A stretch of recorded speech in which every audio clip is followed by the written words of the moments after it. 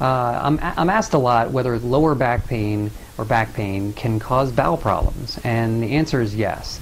And it's usually an indication that there's a problem with the nervous system.